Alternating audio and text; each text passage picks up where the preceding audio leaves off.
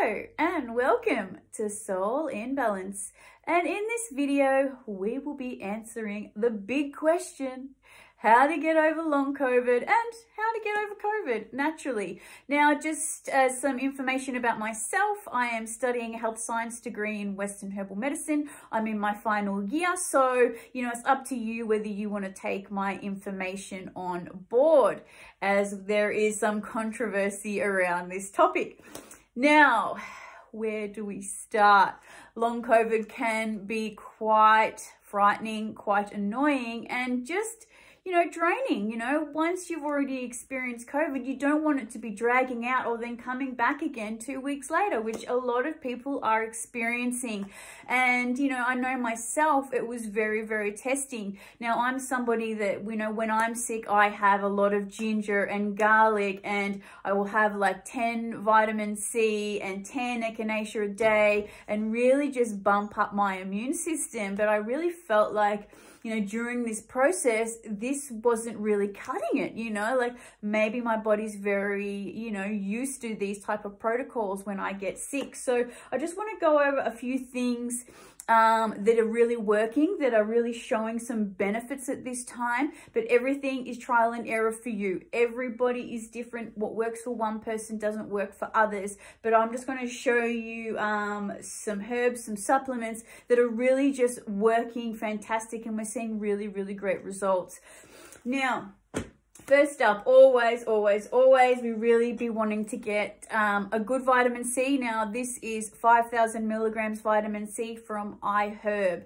Now, we really do want to be having a more natural source of vitamin C. This is only just one part. Ascorbic acid is just one part of vitamin C. So if we can get like organic oranges or lemons or um, you know, something like that, something that's high in vitamin C, this is really, really great. There is... um the Indian gooseberries, they have a lot of vitamin C as well. And um, they're really easy to get in Indian pharmacies or, you know, the frozen food section and things like that. But, you know, things like, you know, um, vitamin C 5000 milligrams. This is really going to help you when you are sick. So you know having it morning and night and then also having zinc as well. This is also really going to help you morning and night. But just keep in mind when you have zinc you don't want to have an empty stomach because it can cause nausea and stomach upset. Now, another super important one, you know, which I always have religiously is echinacea. Now, when I get sick, I will have five in the morning and five at night before bed. And I will also have like a clove of garlic before bed. I don't want to have it during the day because I don't want to kill everybody around me. and I'll also have turmeric. Now, you don't have to use the root. You can use the powder. But things like turmeric tea, because we want to heat up the turmeric to activate the turmeric or have some kind of pepper in there because it doesn't have the best bioavailability. And we do, you know, when it is heated up, it does activate those healing properties and also ginger. So we can have ginger tea or we can just chop it up and swallow it like we do the garlic. But these also work. And these are protocols that I always use when I get the flu or any kind of virus. This is always, always worked for me. But um, with COVID, it was very different. So I did have to, you know, make my own tablets. So I made my own tablets. I made, um, what is in this? Turmeric, olive leaf extract, uh, uh, it was chili, and um, what was the other one? Uh, echinacea. So I was having five of these a day as well. Like obviously you don't want to be making your own capsules. You do, when it comes to herbs and stuff, you do want to see a practitioner if you can or speak to somebody or just, you know, know your body, know what works for you. But I do highly suggest you go see a practitioner. Um, but then I realized after doing some research is, you know, really great ones for helping the body repair itself and, you know, as an antioxidant to get rid of those free radicals, to help get rid of those bacteria is NAC and also melatonin and glutathione. Now, these are really important during COVID. This helps the body um, restore itself, helps the body protect itself while it's going through this you know, like this storm of inflammation and, you know, just this COVID attacking all the vital organs. You know, people are experiencing their brain being attacked, their heart, their, you know, their ovaries, their glands, their kidneys, everything. Um, you know, I don't want to get too much into, you know, the the like you know the conspiracy side people say of how it's coming about how people are getting sick and and all that type of stuff um every, anyone who knows me knows where i stand on that so another um, supplement that I do use is iodine. Now I put 10 drops of iodine in my smoothie every morning and so I did this definitely during um, the, the COVID process and I do suggest everybody looks into um, iodine. There is a lot of misinformation about iodine out there um, so I do suggest you go see a practitioner. So if you're in Australia they have like the Lucy Rose Clinic or you have a look at um, a doctor, a GP called called Dr. Brownstein. I can leave his video in the um, in the description. And, you know, this can tell you about iodine and how it helps um, heal the body because our thyroid needs iodine. And, you know, when we don't have enough iodine, we're not producing all the chemicals and the hormones to keep our body restored and protected. And another great thing about iodine is that it kills bacteria. It kills viruses. So, you know, look into iodine. I don't want to tell you to just start dosing yourself with iodine. There is a lot of controversy around iodine. So please, please, please do the research before you get into iodine. But what I want to say throughout all these procedures is that yes, it worked. It kept everything at bay. It helped me, you know, get along and, and especially other people. It helped other people, um, you know, get over it. But as soon as your emotions came down, as soon as you started feeling sad or, you know, stressed or, you know, just even run down or anything like that, the symptoms will come back. And this is what was really, you know, this is what's really strange about COVID is that, you know, it, it some kind of way, it really does compromise your immune system in a longer, in a longer way. And this is why we're seeing that long COVID. And, um, this is when I started to really get into um, Indian herbs, so Ayurvedic herbs. Now, what I used, and this is what really just knocked it off, like knocked the head off so it didn't come back, is um, these three herbs here. Now, what I have here is neem. Now in, um, we use neem as like to kill bacteria, to kill parasites. So neem oil was really great. So in India, they use neem oil for, you know, um, skin funguses and viruses and, and things like that. So neem tablets, absolutely fantastic. Um, I don't know if you can see the brand. Um, that's what I used. And I also use Guduchi. And this is also like an immune booster. And I also used um, Tulsi, which is also for respiratory wellness. And I can tell you that I would have two of each and within like an hour, all those symptoms that I could feel coming up again would be gone.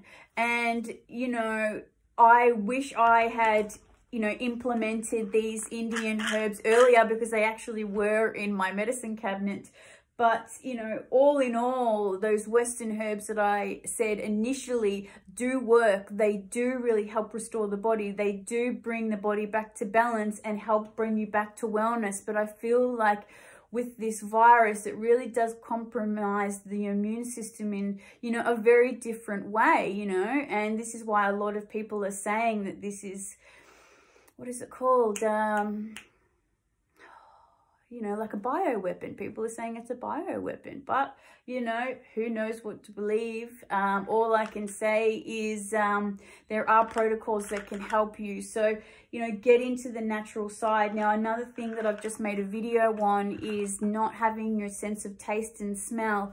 Now, um, what I used was salt and colloidal silver. Now, the reason why people are um, losing their sense of smell and taste is because that bacteria and that mucus is storing in the nasal cavities and the nasal chambers, which is then affecting the olfactory nerve. So what we need to do is, is get rid of that bacteria and get rid of that inflammation. So, you know, nothing survives on salt. So what I did, I just went and got some nasal sprays, tipped the, the solution out and then just put in something natural. So I just got, um, yeah, Himalayan salt, um, put it with some some hot water, let it cool down, and then just put it in here. And also, um, I use colloidal silver, which is also really great for boosting your immune system. Again, nothing can survive, um, no bacteria, nothing can survive in silver. So, you know, both of these are really great. A lot of people might not like colloidal silver. There, it is a bit of controversy around there. So you can just stick to the simple salt and using this three times a day, morning, lunch and night, and just sitting back and letting it, you know, drip into those chambers. And you'll find, you know, even within straight after using it, you'll have like a tiny sense of smell and taste back. And within two weeks, you'll have, you know, everything back. Um, but yes, I know how frustrating it is um, with the long COVID and just having COVID and, you know, the severity of it, it it's quite overwhelming.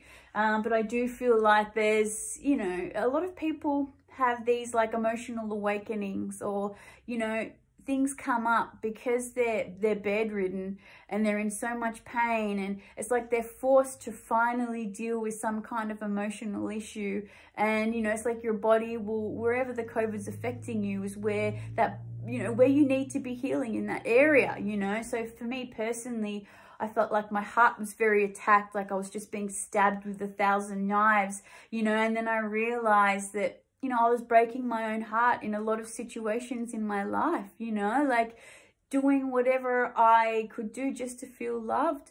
And and then not realizing and then when I was like having to just lie in bed and not be able to move and then go through all these things that I was doing, you know, it, it really gave me this awakening and then that physical pain from the COVID really just made me see what I was doing to my body. Now, I don't know if everybody's going to resonate with my story. That's just my personal story, but I've had a lot of people um, tell me about their emotional awakenings or, you know, just understanding of their processes, of their cycles, of their patterns or their crutches and what they do. And, you know, going through COVID's really kind of release them from that crutch, release them from that cycle because they finally had time to stop and reflect on their life. So, you know, everybody's situations are different. Um, but yeah, anyway, um, just some other things, some other tips that I that was really helpful was um, um, going to see a Chinese therapist. Now, when I was quite sick and I felt like um, the virus was attacking my kidneys, and I um, had some leftover Chinese herbs from a practitioner. So I'll show you, like, with Chinese herbs, there's quite a few, like, herbs in there. And I had this batch sitting in my cupboard, like my medicine cupboard, um, since 2016. and I, you know, put it in the, the Chinese pot and I boiled it up and I drank it for two days. And if I didn't, like, that is literally what helped me get out of bed you know, because our kidneys are our energy center. And if our, if our kidneys are depleted or being attacked or inflamed or something like that, you know, we have no energy. We can't get up. We can't function. So I had that tea and literally I was able to move. And I called that practitioner. I was just like, hey, I've had these herbs since 2016 and I had them and without them, I wouldn't have been able to function. So definitely like go see a Chinese practitioner, tr traditional Chinese practitioner get some herbs um, to help you with your immune system, with your energy, um, your heart, wherever you're being affected. I also got some herbs after that um, for heart because some people are getting like myocarditis, um, pericarditis, stuff like that. Um, yeah, so for what's great for that is um, what we're seeing in like the natural therapy field is yeah acupuncture and yeah Chinese herbs and yeah also again the glutathione and NAC. Um, but yeah, I feel like I'm going too much off track here. But um, there are many, many herbs and things like that that are, are doing wonders. And if you know people that are affected heart-wise, another great one is um, infrared light. So you just get yourself like a $40 infrared light not the, the new ones with all the little tiny globes, just an old fashioned Philips one and just put it on your heart and it really does, um, you know, help with healing your heart, getting rid of the inflammation and stuff like that. And this can also be used for people that have um, had their thing. Sorry, I don't want to mention it on here because it is quite controversial with the um, algorithms on YouTube.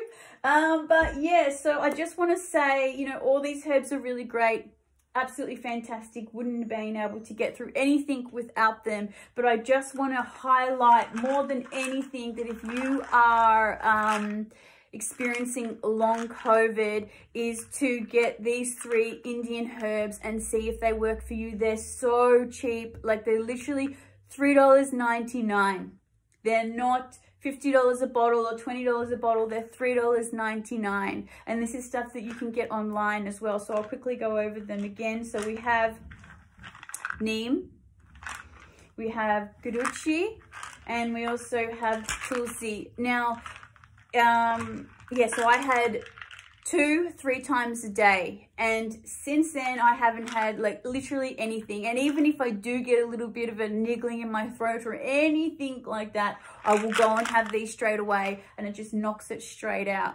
Um, but yes, that's it guys. I hope that was helpful. I know this video might be all over the place. I do try and keep things structured, but there is just so many things that I tried, so many things that I watched other people try. And, you know, I'm just trying to just give you all the information I can so you can come up with your own structure because everybody's body is different. Everybody's body handles things differently. So everybody needs to find a protocol that works for them. So maybe if anybody wants um, a video on more specific things on how to fix specific things I can do that um, or if anybody would like any kind of help or anything please message me in the comments. My next video will be about how to fix the hair loss problem after COVID so stay tuned for that. So thank you guys. I'll see you soon. Bye